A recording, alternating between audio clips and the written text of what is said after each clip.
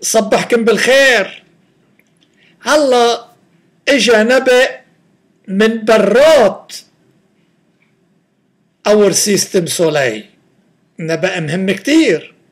لذلك نجبرت إني أعملكن هالفيديو حتى يمكن تشوفوا شو فيه.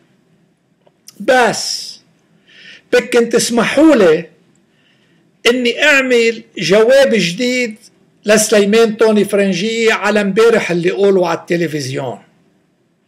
وبتمنى كل واحد منكم يسمع كمان.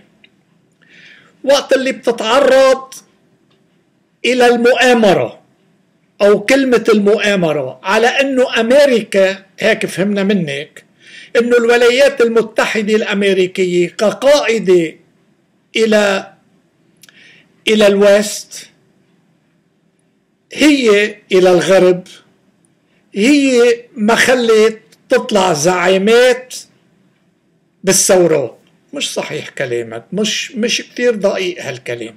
هذا كلام مبني على إنسان جاهل مستواه العلمي بسيط وثقافته بسيطة. هيدي واضحة مثل الشمس يعني. رح وضح لك هي. لا المعارضة السورية رح سمعك فيديو بعد هالفيديو مش هلا اليوم. بجوز اعملوا الليلة. حتى يفرجيك إنه المعارضة السورية لما كنت أنا أشوفهم اكتشفتهم مننهون وتعب تمي إنه ولو يا عمي برموا بالجامعات برموا بمحال بدكن قائد قائد مهم للثورة هيدي ثورة يا جماعة. الثورة صور مستواها لعبة ولاد صغار. لعبة ولاد صغار. ميشيل مرهج وصفوح البرازي. صورة الثورة عملي لعبة ولاد صغار يعني. روح أنت وأنا اللي بدي أستلم الحكم كأنه هذا بيقدر ينجح الثورة ويعطيها لميشيل مرهج. وبالآخر ميشيل مرهج شو بيجيب له أخبار عن الثورة؟ ميشيل مرهج من وراء ظهر الزلمة بيعطيها للمخابرات السورية. هذا قول هيك وهذا كان هيك يعني لعبة ولاد صغار. بالفيديو بدك تسمع ولكن الخطأ الكبير تبع الغرب. نعم نعم. نحن اللبنانيين أفهم من الغرب بالشأن العربي. سيبك من كل حكي. نحن اللبنانيين أفهم بكتير من الغرب. بالشأن العربي. نعم. بطل يعطيني مثل على هالكلام. رح أعطيك مثل أنا البسيط من صغرتي. أنا اطلع فيي. هذا البسيط. ببريز ملهي إشرب. من عشية كيس. لهو. الإضاءة. واحد ما بدي يحكي القصة شو هي علاقات وكذا. اتركها للتاريخ اللي عامله. فدخل إريال شارون إلى بيروت بعقل أوروبي فهيم وشيل منظمة التحرير من بيروت. مش كلنا شفنا؟ مين بيقدر يشيل منظمة التحرير المصلحة مش الإعلامية من بيروت؟ ما حدا إلا جيش كبير مثل الجيش الإسرائيلي. اللبنانيين ما لقيناهم. لأنه كان النظام الإرهابي تبع بيت الأسد كسر شوكة اللبنانيين منعني فكرة فأنا ما كان بدي بشير الجميل رئيس جمهورية ولا مقتنع. لأنه أنا عقلي بهيك الوضع, الوضع مقتنع بإنسان على مستوى إيميل بيطار. الله يرحمه الدكتور إيميل بيطار على هالمستوى. إنه يعمل رئيس جمهورية لبنان. فبقول له لهالشاب صاحبي بعرفه من الطفولة. كيف هالقصة هيك؟ كيف بتصير هيك؟ طلع فيها الإسماع تجرى عملية على المارينز ببيروت يضج لها العالم. وريجن بيصير يرقص مثل الأخوات. هيدي وحدة. إيه بتدلك إنه لا الأمريكان ما عم بيبرموا يخلقوا زعيمات هذا هذا مشكل علينا. ومع إنه كانت مضروبة السفارة الأمريكية قبل ببيروت. نعم. ما تنسى يا أبو طونة. جرى عملية تفجير على مركز المخابرات الإسرائيلية بجنوب لبنان. بين هلالين. وين كان الغلط؟ الغلط بالغرب وبالإسرائيليين مثل ما أنت عم تتهم أمريكا بأمريكا وبالإسرائيليين. سقطوا نظام بيت الأسد. حتى لو كانت بعد هالضربة لنظام العسكري تبع بيت الأسد ومعلش تتدمر سوريا مثل ما أنا متدمرة. ما تدمرت هلو. إذا أنا بتحديك أمام هالشعب اللبناني اللي عم بيسمع هالفيديو. إذا أمريكا حط ربع ليرة بلبنان أنت بتقول ديفيد هيل ورش وكذا. مش صحيح كلامك. مش صحيح. مش صحيح. كلام مش صحيح مش دقيق. بس الثورة السورية ما سمعت. واضحة ولد صغير جيبوا قوري بيكتب اسمه بالعربي.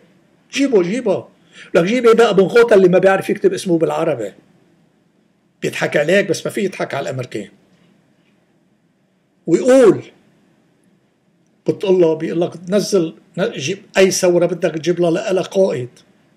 نفس الشيء الثورة اللبنانية تبع 14 اذار تبع 17 تشرين.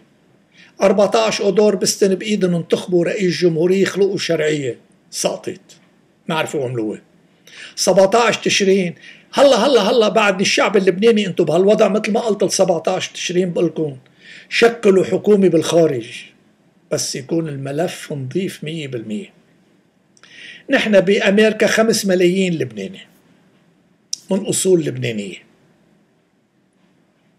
كل واحد يدفع 20 دولار بالشهر قادرين نعمله. هالحكومة المؤلفة من ثلاثة أربعة خمسة فيهن يعيشوا على كيسنا منحول لهم هالمال. ليش؟ لأننا بنعرفهم نضوف ما رايحين يشربوا كيس ويسكي بالأوتيلات. ومن رايحين يعملوا شغلات ما ليها لزوم. عندهم قضية اسمها إنقاذ لبنان. 20 دولار على 5 مليون. ده شي بيوصل لهم كل شهر. وبدهم يكونوا مية بالمية بالمال بالمال. الثورة السورية لا ما كانوا نضوف والوجاهة أطلتوا أطلت الوجاهة 14 أدور كمان والسلطة الشجعة للسلطة إذا لا. هلأ هالفيديو فهمتوا الشعب اللبناني ليش بدك تنزل بالشارع؟ حط العلم اللبناني على البلكون. حط العلم اللبناني على سيارتك. ما في شيء. حطوا على سيارتك العلم اللبناني. لكني كيف نحطه والعلم الإسرائيلي. لأني بدي السلام بين إسرائيل وبين الدول العربية وبين لبنان. ليكي. ليكي. ما بدها شيء. بسيارتك بتحط العلم اللبناني بس. وبتحط السلام بيس. والحكومة هي بتشتغل شغلة. هلأ النبأ للأجيال. الأجيال بالعالم في نبأ. أنا كان إلي حظ إني ب 23 سنة ب 25 سنة بأمريكا كان في جاري اثنين اكتشفت إنهم بيشتغلوا بالنازا. ف بحب أعرف. فسألتهم طيب ما في ناس بهالفضا الخارجة اثنين سوا قاعدين عم ناكل عزمتن على الغداء وعزمتن عدة مرات نحكي بالفضا رغم ما عندي ولاد أنتو كلكن عندكن ولاد قلت لهم قال لا عم نودي نحن أجهزة برات ال système solaire تبعنا. وعم نودي مساجات بكل اللغات مساجات راديو. ما بيجينا شيء كل شيء بيرجع لنا. ما في شيء وقت اللي بيوصل لإلنا. بب بب بب بب بب بب بب بب بب معناتها في ناس برات ال système solaire تبعنا. اليوم أكدوا على أنه جايينا أصوات راديو من الفضاء الخارجي. تهانينا للأجيال الجديدة. هيك بيصير عندكم يمكن يلا الفضاء هو المستقبل. الأرض ما بقى تحمل ليه بتحمل أولادكم ولا شيء؟ كيف كانت؟ جداتنا يقول هالكنزة جيتني هالكنزة من خيي من أمريكا. الأرض بده يجينا المي والقمح والرز والسمن و من الفضاء الخارجي كيف بيقولوا لنا السيارة من أمريكا؟ اشترينا القمح من أمريكا. بدنا نقول اشترينا القمح اشترينا القمح من المريخ. هاي السيارة من من القمر. وهذا اللي جاي أهلا فيكم. سليمان توني فرنجية. التسجيل اللي بعد هذا بتسمع بصوتك. أخطاء الثورة السورية. وأخطاء 14 أدور والثورة اللبنانية تبع 17 تشرين هي. حتى أنت تستفيد. إيه محظين أنت. خدتوا هالمال مليارات الدولارات للشعب اللبناني خدتوه. لو انضرب سنة 82 نظام بيت الأسد بعد ما انضربت المارينز وسقط على الأرض أو حتى لما انضربت السفارة الأمريكية. ولما انضربوا كنا لازم نشترك أمريكا كدولة مع دولة إسرائيل وننفذ عملية سقوط النظام بسوريا. ووضع نظام بلبنان وبسوريا متين بإيدنا مية بالمية. نعم كانت خطأ. كانت خطأ كبير. هلا لا. في كتير مثلي عم بيكتبوا مش أنا وحدة كله عم بيوصل لأنه بيجاوبوني وضح لنا هالشي وضح لنا هالشي وضح لنا هالشي وعم نوضح. أنا عندي ستة بيشتغلوا لإلي وبياخدوا معيش مني. اللي بيكتبوا واللي بيسجلوا واللي بيشيلوا واللي بيحطوا هذا كله. كله بيوصل لأنه عندي الإيميلات تبع القادة الأمريكيين بالأمن وبالسياسة وبالاقتصاد. طمن بالك أبدا أي شعب بدون حرية. ممنوع قائد إلا ما يكون أي واحد بده يشتغل بالسياسة. اليوم طلع بشار الراعي ليش طلع؟ عند ميشيل عون ليش بإيده اللعبة؟ ما هو عميل. كل المسيحيين المرتبطين بثمانية أدار هن عملاء كانوا للنظام الإرهابي تبع بيت الأسد وصاروا عند حزب الله كلهم هلأ مع جداد ميشيل عون واللي وجماعته أزلامه كلهم موظفين وأسهرته وبناته انت بشور الراعي ما في لزوم لإلي. ما في لزوم تطلع على عندهم. ما في شي بإيده كذاب. إسا كل هالخبرة اللي خدناها بحياتنا اسا جاي تعوموا ل... لميشيل عون يودي لك جبرون بيسيل اليوم. عيب عيبوا لي بشور الراعي عيب. كل الخطأ ببكركي ببكركي تغيير بكركي بالأساس هذا المهم. ما بيحبوا يسمعوا المورني شغلة بتخصهم. موقف ماروني صلب رئيس الجمهورية استقيل. لأنه منه موظف. ما في يستقيل بيقتلوه وعائلته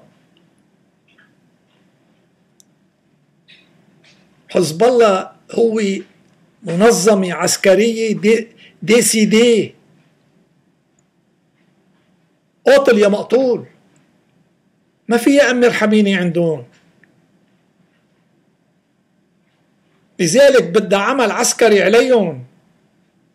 مثل ما صار ب 82 على منظمة التحرير المصلحة. في لبنان.